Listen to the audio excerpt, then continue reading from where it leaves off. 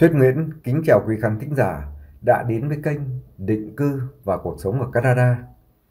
Thưa quý vị và các bạn, bây giờ đang là 8 giờ 30 phút tối ở bên Canada, à, tức là cũng vào 7 rưỡi sáng ở Việt Nam. Các bạn đang nghe cái video đầu tiên trong ngày hôm nay. Và trong video này Thuyết đã thấy rất nhiều những lời bình luận của quý khán thính giả và các bạn. Vâng, trong đó có nhiều bạn nói rằng nghe khi mà nghe thông tin mẹ con của Đoàn Dư đến nhà Ngân thì ờ, nhiều người ờ, rất là thấy mừng vui và cảm thấy yên tâm cho Ngân hơn. Nhiều người thì đưa ra những lời bình luận rằng tại sao Ngân lại ờ, không đuổi vợ chồng táo Hoa đi ra ngoài khách sạn cho đỡ đỡ nguy hiểm. Vâng, đúng là như vậy. Và Ngân hình như đang chơi một cái trò ú tim với quý khán thính giả. Bởi vì không những ngoài Ngân ra còn có bé Nhẫn nữa, đúng không các bạn? Trong khi đó thì mọi người nghĩ rằng Tào Hoa không phải là người uh, vẫn là vợ của bác sĩ Trần mà chưa bỏ bác sĩ Trần. Họ chỉ là đóng kịch thôi.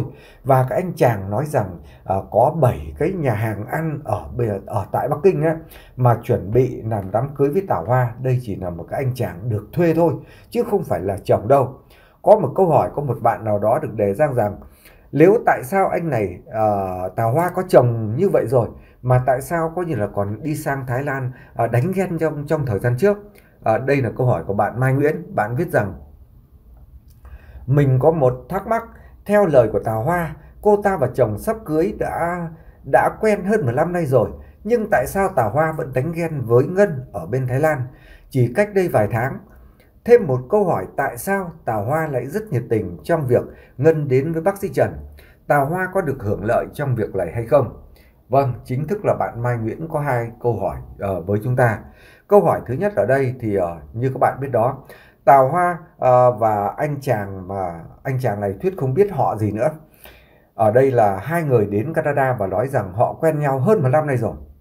Thì đúng là trong thời gian mà sang ở bên Thái Lan thì là đánh ghen với uh, uh, với Ngân.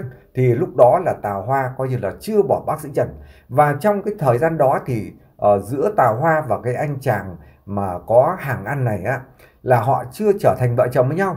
Cho nên là lúc đó họ mới quen nhau ở trên mạng.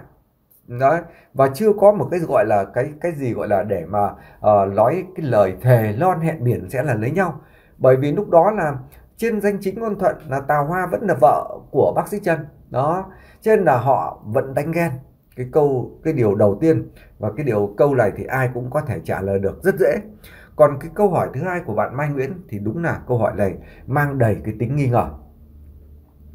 Rõ ràng bây giờ Tào Hoa tại sao lại phải giới thiệu ờ, Ngân với bác sĩ Trần vậy? Đúng không ạ.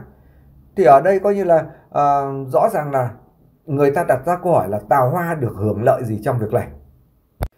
Nếu ông Trần ông tốt như vậy thì tại sao Tào Hoa không giữ lấy để làm cho riêng của mình đi mà lại coi như là cho thả nổi trôi sông và lại đi lấy người đàn ông khác? Nó rất là vô lý trong câu chuyện này. Nhưng mà các bạn biết đó uh, trước đây thì chúng ta không nói làm gì. Lúc đó vào thời điểm coi như ngân trong cái tình trạng như là lửa tỉnh nửa mê đúng ạ? Khi mà ở bên Thái Lan nhưng bây giờ Ngân đã tỉnh ra rồi và chắc chắn Ngân cũng sẽ có những câu hỏi theo thuyết nghĩ là những câu hỏi đại loại như bạn Mai Nguyễn vừa đưa ra. Và có lẽ chắc Ngân cũng tự trả lời được thôi. Rõ ràng Tào Hoa phải có được cái hưởng cái gì trong đó thì coi như là uh, mới uh, mới nhiệt tình để giúp đỡ Ngân lấy bác sĩ Trần đấy chứ đúng không ạ? Cái việc đương nhiên mà chúng ta bây giờ nhìn có nghĩa là bác sĩ Trần đang có một đứa con gái 6 tháng tuổi cùng với Tào Hoa. Thì ví dụ bác sĩ Trần kiếm được tiền của Ngân từ trong túi Ngân thì Tào Hoa cũng được hưởng. Hay nói một cách khác là bác sĩ à, đứa con của bác sĩ Trần sẽ được hưởng đúng không ạ? Ở đây cái chuyện mua nhà ở Bắc Kinh cứ nói rằng cái ông kia 30 tuổi nếu họ giàu như vậy thì họ đi lấy một cô gái uh, có chồng rồi lại có con một đứa con riêng rồi thì người ta lấy làm gì? Tất nhiên là trên đời này cũng có đôi trai gái họ lấy nhau như vậy. Nhưng mà thường thường những cái ông chủ mà mới 30 tuổi họ thành đạt như vậy ạ tiền nhiều như vậy á thì họ sẽ đi tìm cô gái 18 20 Chứ không bao giờ người ta đi tìm một cô gái đã 28 tuổi chỉ kém mình 2 tuổi. Trong khi đó lại còn có con với người khác nữa. Đúng không ạ? Cho nên là cái chuyện này thì ai cũng nhìn ra những cái vô lý. Nhưng ở đời thì không biết nói thế nào. Tuy nhiên theo thuyết nghĩ, thuyết vẫn có một cái linh cảm rằng Ngân vẫn đang như là đang như là các bạn hình dung ra như đang như là răng ra một cái mẻ lưới ờ, để cho cá cá vào trong cái mẻ lưới này. Ờ, theo thuyết nghĩ vậy chúng ta cứ chờ đợi xem như thế nào à, có thể rằng là à, ngân gần bác sĩ Trần có rất nhiều cái hại đó chính là mất tiền mất bạc. À, rồi thì bị bệnh bị tật thế nọ kia. Nhưng có thể ngân cũng rút ra được nhiều bài học trong câu chuyện của bác sĩ Trần. À, đó chính là có thể cái kế sách gậy ông đập lưng ông. Ông lợi dụng tôi thì ngược lại tôi cứ để cho ông lợi dụng đi và tôi sẽ lật ngược lại thế cờ.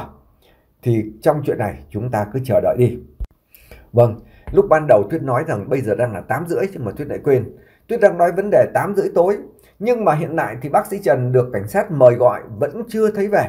Và ở đây các bạn biết là chắc là có chuyện gì đó. À, có một nguồn tin Tuyết nghe rằng là ô tại sao bây giờ mà bác sĩ vẫn chưa về vậy? À, nếu mà bác ấy về chắc chắn trở lại nhà Ngân rồi. Bởi vì Tào Hoa đang ở đó rồi thì tất cả mọi người đang ở đó. Câu chuyện đang rất hấp dẫn đúng không ạ? Cho nên là bác sĩ sẽ phải đến nhà Ngân. Điều chắc chắn là như vậy. Ai cũng suy đoán được như vậy. Nhưng 8 rưỡi rồi mà bác ấy không về thì uh, Thuyết có hỏi một vài chỗ thì uh, Thuyết nghe một cái thông tin nói rằng uh, nghe nói ở trong uh, uh, cảnh sát đã sau khi mà uh, lên đồn thì cảnh sát sau đó đã đưa cả bác sĩ lên trên thác nước Legra nếu mà đưa lên thác nước Legra thì chưa về được thật các bạn Đấy. Thì câu chuyện này nếu mà đưa lên cả thác nước Legra thì nó vẫn liên quan tới câu chuyện mà cái cái căn hầm bí ẩn ở trong ngôi miếu của bà Ngọc Trinh mà ông Hà à, bây giờ đã chạy trốn chính là người đã có những cái bí mật gì ở trong đó. Mà cái lời khai này chính là của ông Ly. Các bạn biết rằng là ông Ly là một người uh, là một người có như giúp việc cho bác sĩ Trần. Ông ấy biết rất khá nhiều bí mật và những cái chuyện ông ấy khai thì ở đây thuyết không dám hỏi. Mà ngược lại ông Ly cũng không bao giờ để nói với chúng ta. Bởi vì những cái chuyện này chắc chắn cảnh sát đã nói trước với ông ấy rồi. Có những điều mà ông ấy không thể nói được. Bởi vì nó đang nằm trong cái vấn đề điều tra. Điều này chỉ có lợi cho ông ấy mà thôi nếu nói ra và tiết lộ bí mật thì không khác gì đánh rắn đánh rắn động cỏ. Và chẳng hạn như là kẻ à, những cái kẻ chủ mưu họ chạy trốn thì lúc đó chính ông Ly sẽ không tự mình giải oan được. Cho nên là trong vấn đề này thì à, chúng ta cũng không thể biết được nhiều hơn. Thưa quý vị và các bạn hôm nay à, Ngọc Bích đã coi như là thể hiện cái bộ mặt. Mặc dù từ lúc sang đến giờ chị Điều Voi mẹ của Ngọc Bích đã xin lỗi mọi người rồi bắt cả Ngọc Bích xin lỗi Ngân thế nọ thế kia. Nhưng mà cái bản chất thì nó vẫn đâu vào đó. Ở đây mang tiếng cùng quê hương với Ngọc Bích. Bản thân Tuyết là cũng cùng quê hương nhưng không bảo vệ gì Ngọc Bích đâu. Cái gì đúng thì thôi đúng ạ. À, thì uh, hôm trước đã xin lỗi rồi. Mẹ Ngọc Bích cũng đã khôn khéo hơn là xin lỗi mọi người. Nhưng ở đây Ngọc Bích lại tái phạm. Và cái bản tái phạm này thì coi như là uh, thấy rằng là nó rất là khó sửa chữa trong câu chuyện chiều ngày hôm nay các bạn biết đó Ngọc Bích đã coi như động chạm đến hai người vợ của bác sĩ Trần động chạm đến tám trang khi mà nói rằng ồ uh, hai cái con vợ của ông chỉ là những cái đứa uh, như là đi cái làm cái cái nghề thấp hèn tức là đi sửa móng tay móng chân ấy, là Ngọc Bích khinh những cái người đó là đi làm một cái công việc thấp hèn. Các bạn cũng từng nghe Ngọc Bích mắng chửi Nguyệt rằng là là cái con ở đậu đúng không ạ? Và đến hôm nay thì lại coi như là mắng chửi hai người hai người vợ của bác uh, của, của của anh Vương Hoàng với lại tám trang là đi làm cái nghề thấp hèn như vậy. Thì các bạn biết ở đây uh, có một cái chi tiết ngân rất là quý hai người vợ của bác của anh Vương Hoàng và cả tám trang. Dù sao đi chăng nữa thì ba người này cũng là người cùng quê hương với lại với lại ngân. Cho nên là kiểu gì người ta cũng phải bảo vệ. Trong khi đó các bạn biết rằng chính người vợ của anh Vương Hoàng cũng rất nhiệt tình giúp đỡ những người trong câu chuyện tình này trong thời gian mà Tuấn coi như mải mê uh, với Tám Trang các bạn nhớ không ạ? Thì uh, Thuyết nhớ là có những lúc coi như anh Vương Hoàng phải coi như là cử uh, anh Vương Hoàng là trông cái đứa bé Ngọc Anh này. Rồi thì cho cả vợ đến uh, trông lom uh, bé Ngọc Anh khi mà khi mà Tuấn lúc đó là mẹ Tuấn chưa sang đúng không ạ? Là đang mải mê ở bệnh viện với Tam Trang.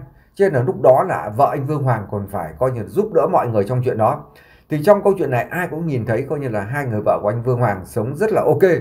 Có một điều rằng là thứ nhất là hai người vợ của anh Vương Hoàng sống hơi xa Ngân là một.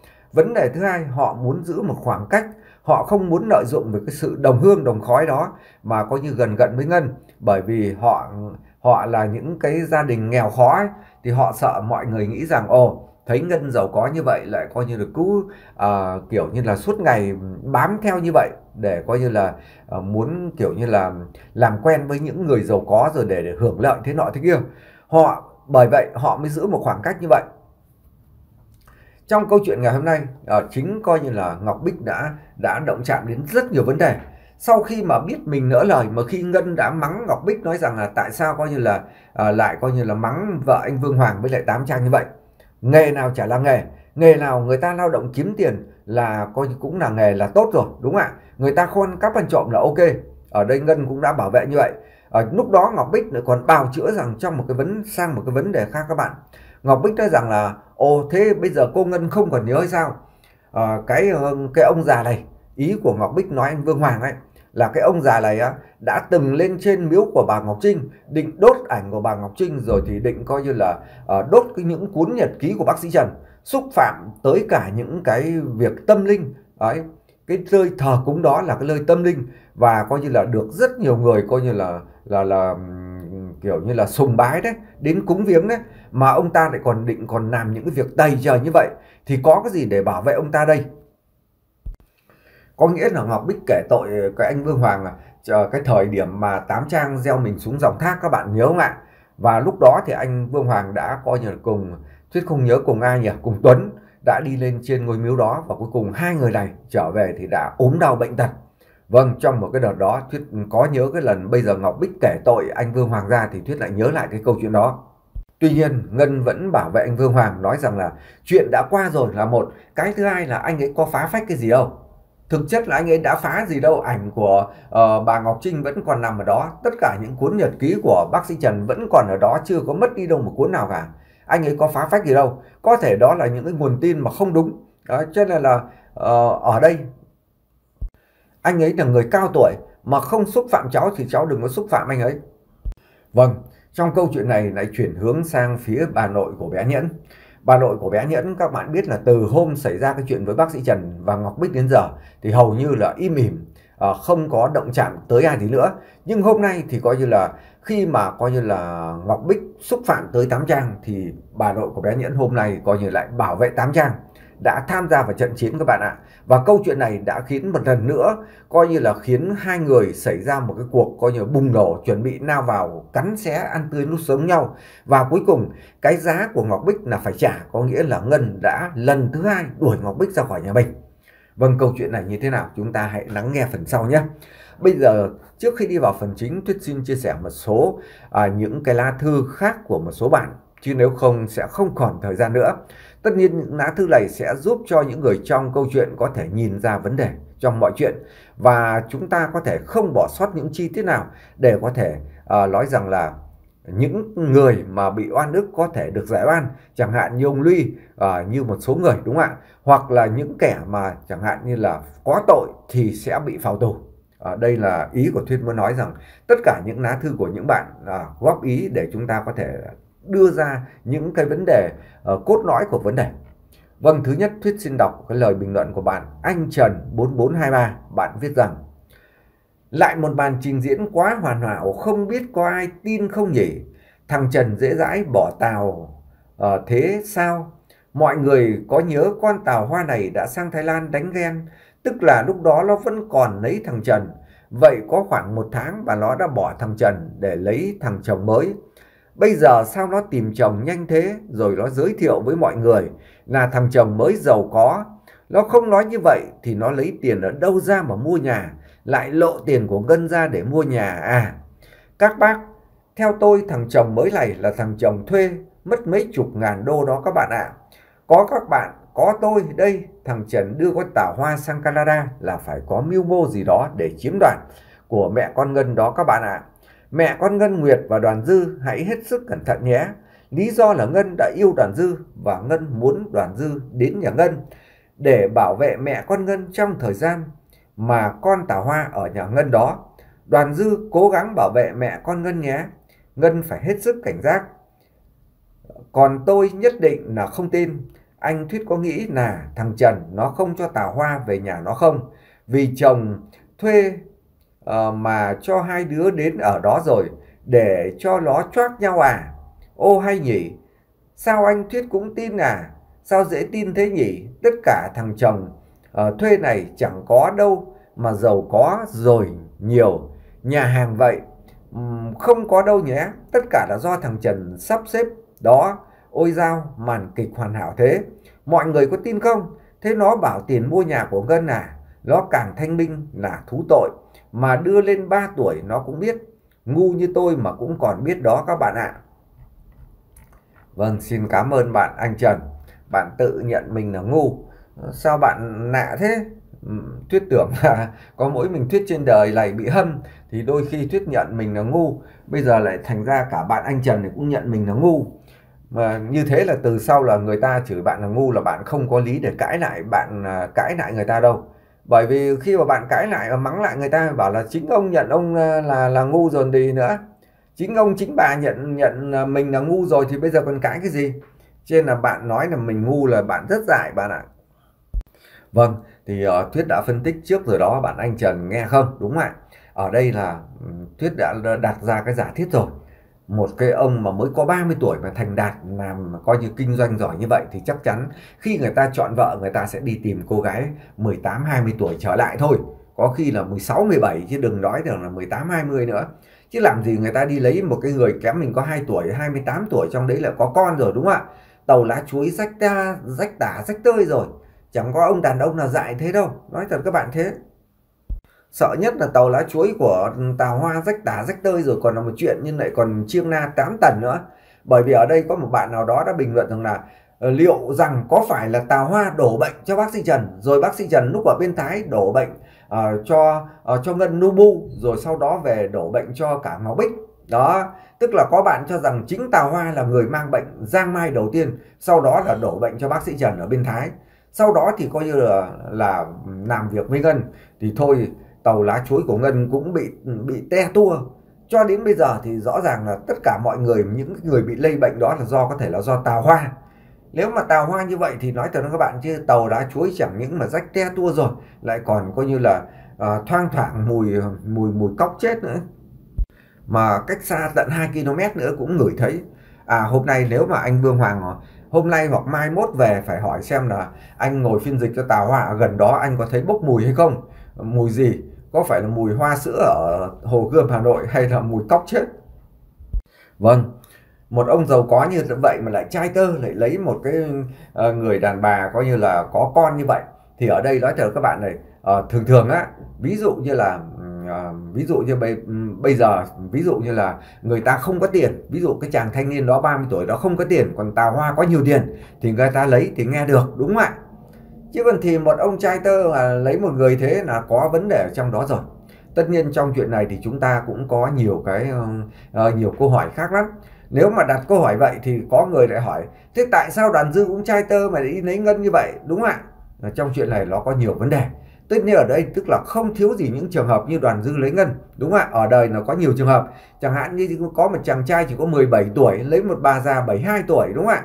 Cho nên là nhiều trường hợp. Nhưng mà nó không phải là Ờ, là là kiểu như là chúng ta nhìn thấy nó liền trong một lúc như vậy và có sự bất bất ngờ như vậy. Bạn ờ, anh Trần nói rằng là thuê cái thằng này mà làm trồng tà hoa mấy chục ngàn đô, không có mấy chục ngàn đô đâu. Người ta ví dụ đưa từ Trung Quốc sang đây người ta đã mất mua vé máy bay cái thứ rồi thì chẳng hạn, nói thật các bạn nhé ờ, cho 10.000 đô đã là sung sướng, có khi chỉ 5.000 đô cũng được. Miễn là ông đóng kịch tốt như vậy à, đi đâu đi đâu tôi bao bọc hết sau đó về đút túi 5 ngàn đô cũng là ngon rồi. Tính ra hơn trăm triệu tiền Việt rồi đúng không ạ? Thiếu gì cái loại đàn ông coi như là uh, cái tầm đó ăn chơi coi như là không có tiền có bạc đầy. Cái loại thanh niên đó ở Việt Nam nói thật các bạn cái tầm 30 tuổi uh, thất nghiệp mới lại không có việc đầy dẫy thì Trung Quốc cũng vậy thôi. Cho nên là coi như là vừa được đi chơi ở tận bên Canada sung sướng sung sướng bỏ cha bỏ mẹ rồi lại còn coi như là uh, được tiền mang về nữa. Người ta nói là vừa được ăn vừa được cưỡi vừa được uh, thóc lúa mang về thì làm sao mà trả thuê được? Thiếu gì? Cho nên là trong chuyện này ờ, tất nhiên là đây là của dự đoán của bạn anh anh Trần không biết đúng sai như thế nào. Nhưng chính thuyết cũng đặt ra những câu hỏi tức là nghi ngờ chứ không dám khẳng định. Biết đâu đó mình nói khẳng định và nói lỡ mồm mai mốt đến nhà ngân à, anh ta lại coi như cậy khỏe trẻ hơn mình cho mình vỡ alo thì nguy hiểm. Không lúc mà không biết lúc đó thì đoàn dư có cứu chú thuyết hay không? Vâng ý của bạn anh trần là uh, bác sĩ trần rất là khôn để cho uh, Tào Hoa với lại cái cái cái thằng chồng hờ kia ở nhà Ngân. Bởi vì nếu thuê ra ở khách sạn hoặc là uh, mang về nhà mình thì hai chúng nó cưỡi nhau thì coi như là lúc đấy vợ của mình để cho thằng khác à. Lúc đấy thì cay cú lắm không thể được cho nên là bởi vì cho đến nhà Ngân chúng nó không làm gì được đúng không ạ? Mỗi đứa ở một phòng. Đấy cho là không chẳng nhẽ đi đến nhà người ta coi như lại làm cái chuyện đó trong nhà người ta hay sao? Nhà người ta là nhà coi như là uh, ra thế làm ăn mà lại làm chuyện đó ở đó thì không thể được rồi đúng không ạ? Đấy cho nên là khách khứa mà lại đến nhà người ta lại làm chuyện đó thì không thể chấp nhận được.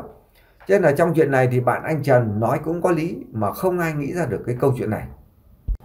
Trong khi đó bạn Vũ Nhai đưa ra một cái bình luận như này tôi biết là Ngân đã yêu thầm đoàn dư rồi đấy. Bây giờ chỉ có cách Ngân nhận đoàn dư làm vệ sĩ cho Ngân trước đã. Vệ sĩ ở luôn nhà Ngân nhé. À, cả mẹ đoàn dư cũng vậy ở luôn nhà Ngân đi rồi từ từ. Ngân cho lão Trần vào tù là xong hết vì lão Trần chiếm gần 50 triệu đô. Thật là nhiều lắm luôn. Ngân ơi cô là người ngoài nhưng rất tiếc số tiền đó để làm từ thiện cho được rất nhiều người. À, Ngân nhé. Lão Trần chỉ không muốn tham số tiền của Ngân mà còn tham cả ba ngôi biệt thự của Ngân nữa đó.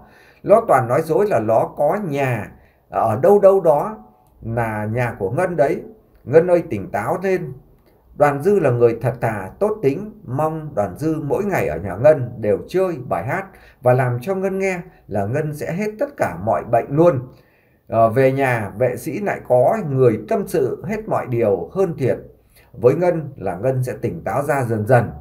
Từ từ lâu rồi tôi vẫn muốn đoàn dư lấy Ngân mà tôi tin rằng trong tâm của Ngân đã nhìn rõ thấu hiểu uh, lòng dạ của bác sĩ Trần và những con vợ nghêu ngao của nó. Tất cả bọn chúng nó chỉ muốn tiền thôi, nghĩ từ lâu rồi nhưng Ngân không bột nộ ra đâu. Ngân từ từ khui ra từng chuyện một để lão Trần vào tù nhanh nhé. Mẫu Trần và con mặt quỷ vào tù thì mọi người mới an yên được. Nó còn nhờ nhởn nhơ ngoài vòng pháp luật là mọi người còn phải cảnh giác. Vì tôi thấy nó làm rất nhiều chuyện không qua đạo đức rồi. Mong anh Thuyết đừng để ý đến gia đình nhà mẹ con Ngọc Bích nhé. Mọi người có thương thì ờ, thương mình, chồng của bà đấy thôi. Nhưng cũng không ai dám bảo lãnh sang đó để làm đâu. Mong mọi người cảnh giác nhé. Chúc vợ chồng Đông Nhi và vợ chồng Tuấn Hoa và vợ chồng anh Thuyết và vợ anh Khanh nhanh chóng về một gia đình nhé. Chúc cả đoàn dư với uh, Ngân hạnh phúc đến hết cuộc đời. Uh, chúc mọi người trong câu chuyện này thật là bình an và hạnh phúc nhiều. Vâng, Ồ, một một lời chúc rất hay của bạn Vũ Vũ Nhai. Uh, ờ, ở đây uh, Tuấn Hoa chưa gì mà bạn đã gọi là vợ chồng rồi. Hoa chưa chính thức gì nhá, uh, bạn Vũ Nhai nhá. Mặc dù Tuấn Tuấn rất là yêu Hoa và coi như là Tuấn rất yêu Phạm Hoa và rất là muốn Phạm Hoa trở về nhà. Nhưng mà Phạm Hoa vẫn giữ kẻ các bạn ạ. Cô gái này nó hơi bị yếu đuối một tí coi như là vẫn giữ kẽ và chưa dám về nhà Tuấn. Theo thuyết nghĩ là về được rồi cũng như câu chuyện của của Thuyết và Võ, Võ Ai Khanh. Nói thật với các bạn là cũng có thể về được rồi. Đấy. À, tất nhiên là thích giữ ý thì cứ giữ thôi cứ qua 100 ngày là có thể về được các bạn ạ đấy thuyết đã tìm hiểu nhiều rồi thì ở thời nay nó là như vậy. Và chẳng có ai coi như là à, khó dễ gì mình đâu. Ấy chẳng qua cái tâm của mình ví dụ cảm thấy không thoải mái thì mình để lâu lâu lâu một chút. Thì trong chuyện này nếu mà lúc nào mà Tuấn cảo Hoa về thì cũng là ok còn Đông Nhi thì rõ ràng rồi đã đi đăng ký kết hôn thì gọi là vợ chồng được rồi đúng không ạ? Vâng và sáng ngày hôm nay thì uh, mẹ con đoàn dư đã đến rồi bạn Vu Nhai ạ. à. Bây giờ là video cuối cùng trong ngày hôm nay rồi. Và trong video đầu tiên thì bạn đã nghe được cái thông tin này. Ở đây thì uh, nếu mà Ngân lại thông minh như bạn Vũ Nhai nói, dần dần tại sao ở đây các bạn cứ đặt câu hỏi đi tại sao mà Ngân lại đồng ý để Phạm Hoa à quên để coi như Tào Hoa ở nhà mình ờ, từ bên Trung Quốc sang chắc nó phải có vấn đề và theo thuyết nghĩ rằng trong câu chuyện này có khi Ngân cả cả Võ Ái Khanh đã bàn luận nhau trước gì đó theo thuyết nghĩ là như vậy bởi vì thuyết không Ờ, có đặt mấy câu hỏi với ờ, với Khanh rằng là uh, tại sao mà Ngân lại coi như là ừ, để cho Tào Hoa về nhà mình nhỉ? Ở trong câu chuyện này cảm thấy nó có cái gì đó nó sai sai.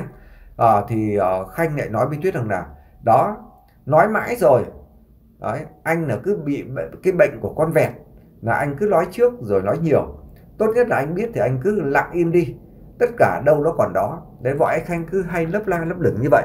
Thì thuyết nghĩ rằng ồ chắc là có chuyện rồi.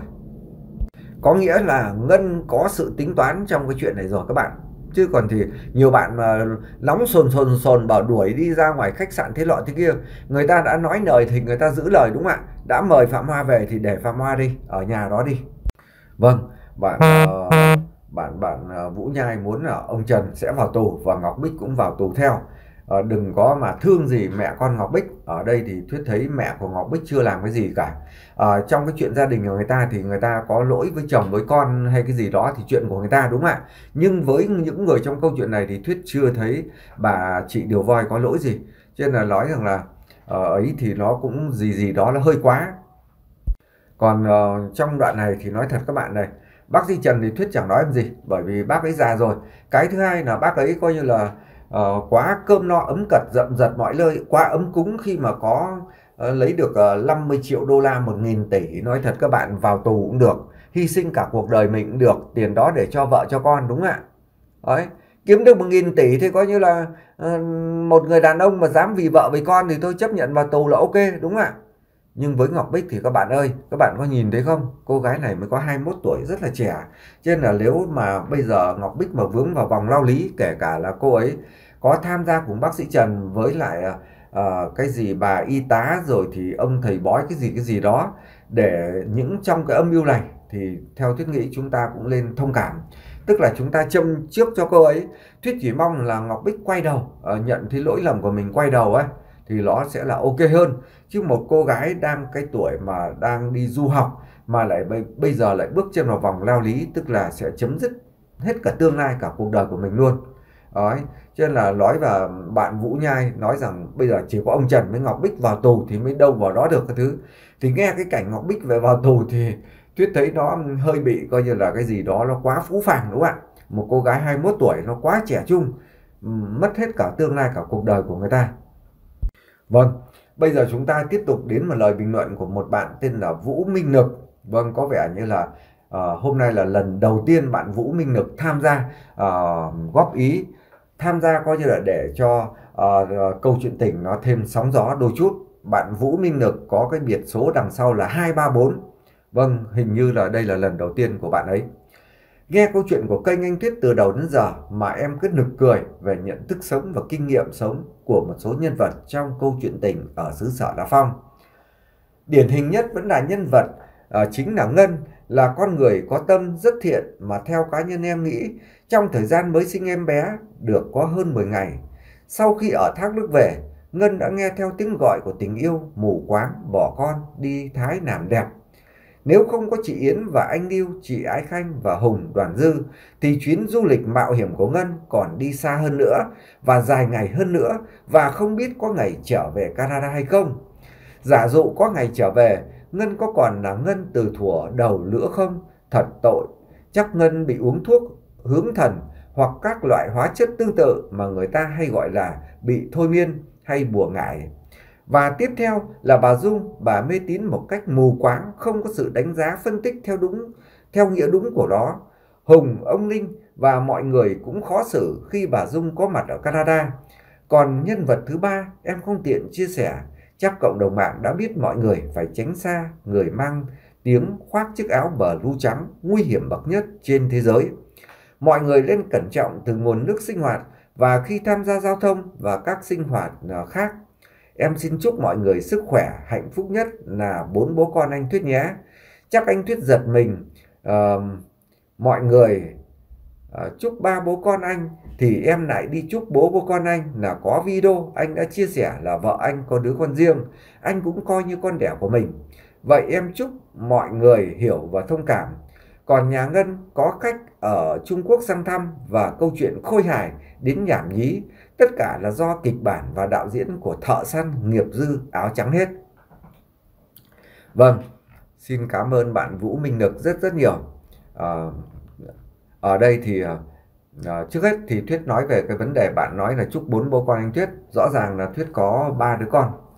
À, người vợ của Thuyết có một đứa con riêng sinh năm 1996 à, thì uh, Thuyết đã nuôi nuôi nó từ năm 9 tuổi thì đến khi sang đến Canada được 6 tháng thì cháu nó quay trở lại Thái Lan. Bởi vì ở Thái Lan 9 năm thì cháu nó lúc đó đã trưởng thành rồi, đã lớn rồi. Bởi vì 96 mà, mới sang đây được 3 năm thì cháu nó lúc đó là 23 rồi, đúng không ạ? Thì cháu nó đã thành lập một cái công ty vận chuyển từ Việt, từ Thái Lan sang đến Việt Nam, đến Sài Gòn. Tức là vận chuyển hàng hóa đi về. Và cái thứ hai nó đổi tiền nữa tức là ví dụ người Lào thích uh, lấy tiền Việt thì nó sẽ chuyển tiền Thái cho còn thích lấy tiền Thái nó sẽ chuyển tiền Việt. Đại khái nó làm như vậy. Cái công ty gọi là công ty vận chuyển vận chuyển tất cả hàng hóa các bạn mua hàng gì ở Thái thì liên lạc với cháu nhé thì cháu nó sang đây chỉ có nửa năm thôi tức là có thẻ xanh thì đã trở về. Cho nên là bạn nào chúc ba cha con cũng được mà chúc bố bốn bố con cũng không sai. Bạn ờ, Vũ Minh Ngực ờ, khuyên tất cả mọi người trong câu chuyện tránh xa một cái chiếc bờ lưu trắng một cái chiếc áo blue trắng ở đây thì các bạn biết là ai rồi đó đúng không ạ? Thế cứ nói thẳng tên bác sĩ Trần. Thiếu gì người ờ, làm bác sĩ mà họ Trần đâu mà bạn cứ phải mập mờ như vậy.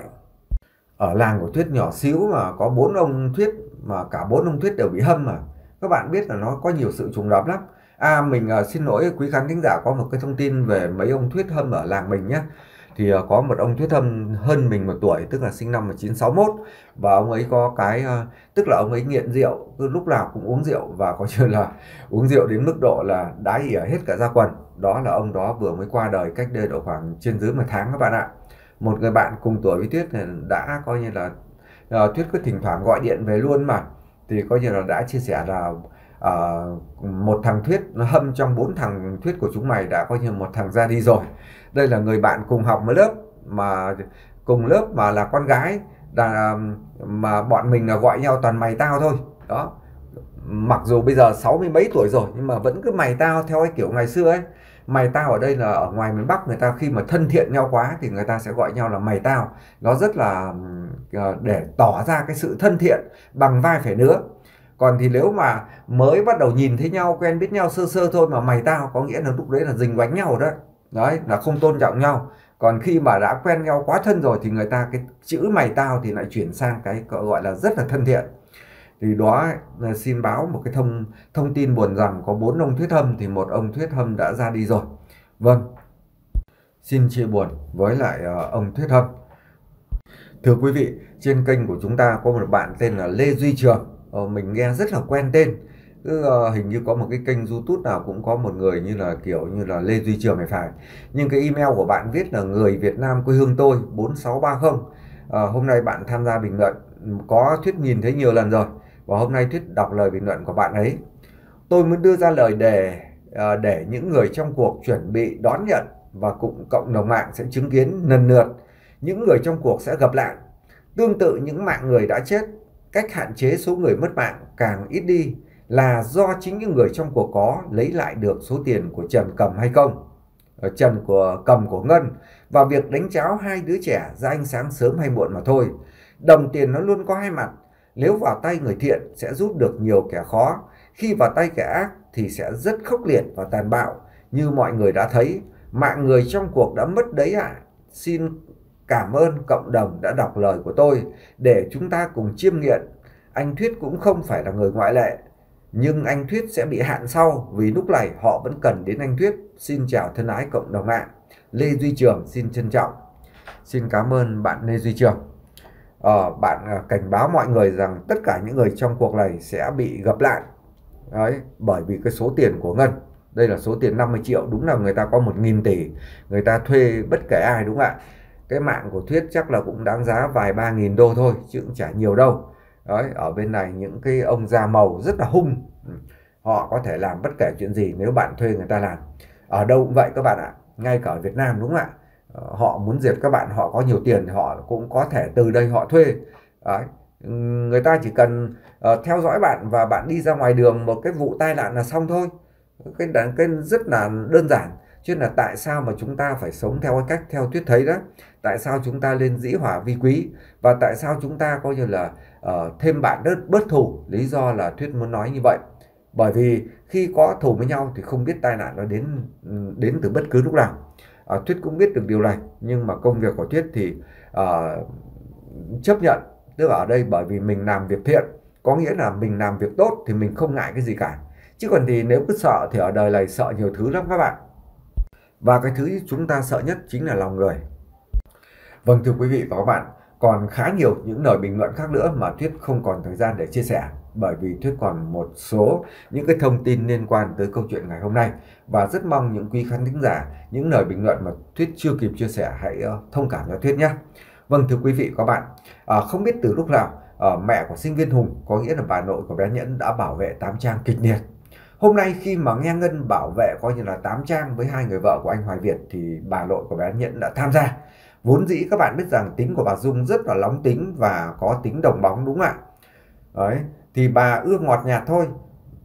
Còn ai nói khích nói bác là chỉ có chiến đấu thôi. Kể cả bà rất yếu nhưng bà bà sẽ chiến đấu đến cùng. Thì hôm nay các bạn biết là từ hôm nọ đến giờ bà đã im lặng rồi. Thì giữa bà và Ngọc Bích hôm nọ đã chuẩn bị coi như là xé xác nhau ra rồi đúng không ạ? Đấy cả hai người đều lao vào để xé xác nhau ra. Rất may là có chồng Nguyệt can dự. Thì đến hôm nay khi mà uh, Ngọc Bích xúc phạm hai người vợ của anh Hoài Việt rồi thì Tám Trang là những cái kẻ thấp hèn làm cái nghề thấp hèn đó đấy đi uh, đi sơn móng tay móng chân cho người ta là cái nghề thấp hèn thì bà Dung đã không chịu đựng được nữa bà Dung đã nói rằng cái con danh này cái nghề thấp hèn như vậy nhưng người ta là bán sức lao động của người ta người ta lao động bằng tay bằng chân và những đồng tiền của người ta là đồng tiền chính đáng nó hơn những cái kẻ gọi là lấy nỗ làm nãi mồm thì sơn sớt ngon ngọt mà bụng thì hàng bồ rau găm. Ba tuổi danh đã đi câu hết ông chồng nọ đến người đàn ông kia, đã từ thằng già đến con trẻ. Ở đây bà Dung đã coi như là không lẻ lang gì Ngọc Bích nữa nói. Ở đây là ý của bà Dung nói rằng trước đây là câu Tuấn, câu Tuấn xong đến câu cả sinh viên Hùng. Có nghĩa là đó, bà Dung bây giờ hiểu ra bộ mặt của Ngọc Bích rồi, tức là trước đã thông qua ông thầy bói nói rằng Ngọc Bích là là với Hùng là hai người rất hợp nhau đúng không ạ? đó câu từ Tuấn sau đó câu cả Hùng rồi sau đó đến cả bác sĩ Trần vân vân và vân vân. Là ở đây bà Dung hôm nay đã không chịu đựng được nữa khi mà nhắc đến tám trang và nhắc đến hai người vợ của của của anh Vương Hoàng. Thực ra theo thuyết nghĩ rằng uh, bà Dung cũng không phải hẳn là bảo vệ 100% tám trang nhưng ý ở đây là chính Ngân đã phản bác cái điều này thì bà Dung cũng không chịu được. Chắc là trong những ngày vừa qua, bà đã lặng lặng không nói thì bà rất khó chịu rồi. Các bạn biết rằng là những cái người mà có tính đồng bóng hay nên đồng ấy thì không bao giờ người nào im lặng được lâu cả. Người ta đã nói mà người ta nói là hết nước hết cái luôn. Cho nên là hôm nay bà Dung đã không chịu đựng được nữa. Bà đã kể lể rằng là trước đây tao nghĩ rằng là mày cả nhà tao, tức là hai người, cách nhau cũng chỉ một con đò. Bởi vì các bạn biết là Hải Hưng, Hải Dương gì nó giáp với Hải Phòng đúng không ạ? Tức là hai tỉnh nó giáp rất giáp nhau coi nhau có thể như là đồng hương được rồi. Thì sang đến đây nó là quý hóa. Mà trước kia chính cái điều này Ngọc Bích đã nói mồm với bà Dung khi bà Dung còn ở Việt Nam. Rằng là con ở gần nhà bác đó cách nhau chỉ một con đò mà thôi. Cho nên là coi như là có gì giúp đỡ lẫn nhau. Con sẽ cố gắng bảo là để coi như là à, cô Ngân hoặc bác sĩ Trần đưa uh, đưa bác sang đây rồi coi như là lương tựa vào nhau mà sống đủ các kiểu trên đời. Thì hôm nay bà Dung lại nhắc lại như thế tức là nghĩ vì tình đồng hương cách nhau một con đò mà nhiều lần đã bỏ qua và không nói gì. Nhưng đến bây giờ thì đồng hương uh, nó không bằng đồng chất. Và đồng chất thì nó không bằng đồng tiền. Ồ, oh, không biết là bà Dung nói lấy câu nói này ở đâu ra. Và thuyết thấy là câu nói rất là hay nhỉ. Đồng hương không bằng đồng chất đồng chất thì không bằng đồng tiền. Đấy đồng tiền thì nó liền với khúc ruột. Khi mà bà ờ, bị uh, bà Dung mắng nhiếc như thế Ngọc Bích và cay cú các bạn. Đó Hôm nọ các bạn biết là hai người đã dình sâu xé vào nhau rồi. Đến hôm nay thì Ngọc Bích cũng không chịu đựng được nữa. Ngọc Bích đã bảo là cái con mụ già này nếu mà mày mày muốn coi như là ăn tao thì tao cũng muốn ăn mày. Là tốt nhất là tao cả mày đi ra một chỗ đi ra ngoài cổng đi à, để cho đứa nào sống đứa nào chết. Ngọc Bích đã không kiêng nể bất cứ ai đã nói lời này. Và lúc đó thì Ngân đã không chịu đựng được.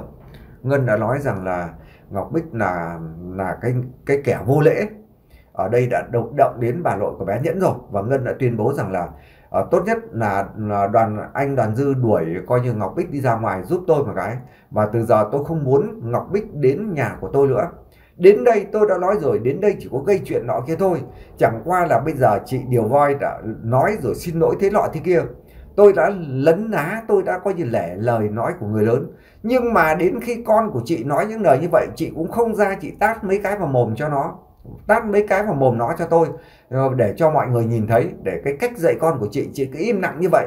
Chị im lặng như vậy có khác gì là chị đồng lõa với nó để coi, để cho nó nói những lời nói đó đâu. Mà bây giờ bà nội của bé nhẫn đáng là mẹ của tôi, mà nó gọi tôi và cô thì nó, bà nội của bé nhẫn cũng đáng tuổi bà nó, mà nó lại còn coi thường như vậy. Nó coi thường một người này thì nó coi thường tất cả. Hôm nay ở đây là con bích nó coi thường cả anh vương hoàng bảy mươi mấy tuổi đáng tuổi ông nội nó rồi. Cho nên là hôm nay ngân đã tuyên bố đuổi ngọc bích ra khỏi nhà và đoàn dư đã mời rất cứng rắn là mời ngọc bích đi ra khỏi nhà. Ấy bà cái bà điều voi lúc đó bắt đầu mới à, lên tiếng thế nọ thế kia bắt đầu lại xin lỗi lọ xin lỗi kia. Nhưng ngân rất cứng rắn nói rằng là tốt nhất nếu chị vẫn thế thì chị cũng đi luôn cùng ngọc bích đi. Tôi thấy rằng chị chưa có cái lỗi gì nhưng nếu chị vẫn cố tình bảo vệ con của chị thì chị đi cùng ngọc bích đi. Còn khi nào chị dạy được con cái á, thì cái điều đó là ok cho chị. Thì lúc đó coi như là chẳng hạn như chị định cư ở đây à, cái bích nó ở đây chẳng hạn cả cuộc đời. Và nó thay đổi con người của nó thì tôi sẵn lòng lúc nào cũng mở cửa để cho mọi người vào. Với tôi mỗi một người Việt Nam là một khúc ruột. Ngân đã nói cái câu nói các bạn ạ tức là Ngân yêu quý tất cả những người Việt Nam khi xa quê hương. Mỗi một người Việt Nam là một khúc ruột của mình cho nên là không muốn xa rời ai cả. Nhưng vì cái vấn đề Ngọc Bích nó quá đáng quá, cho nên Ngân đã quyết định lần thứ hai đuổi Ngọc Bích ra khỏi nhà. Vâng thưa quý vị và các bạn, câu chuyện tình này vẫn chưa dừng lại ở đây. Tuy nhiên, nó không còn đẹp đẽ như ngày xưa nữa. Câu chuyện này đã trở thành như một vụ án, như mà, như là một màn tấu hài. Và có những cái màn có như ẩu đả nhau, như phim trưởng như là phim Hồng Kông vậy. Vâng có thể nó sẽ mất đi những cái nét đẹp nét hay trong những câu chuyện tình yêu nhưng nó lại rất thực với cái đời thực mà chúng ta đang sống. Nó có thể có là những cái bài học để giúp cho những người mẹ người cha à, nuôi dạy được con cái hoặc à, những người đang thất tình tìm ra được những bí quyết trong tình yêu Video thứ tư và cũng là video cuối cùng trong ngày hôm nay của Thuyết xin tạm dừng ở đây. Thuyết xin chân thành cảm ơn quý khán thính giả và các bạn đã quan tâm và theo dõi. Xin chào và hẹn gặp lại quý khán thính giả và các bạn trong những video tiếp theo.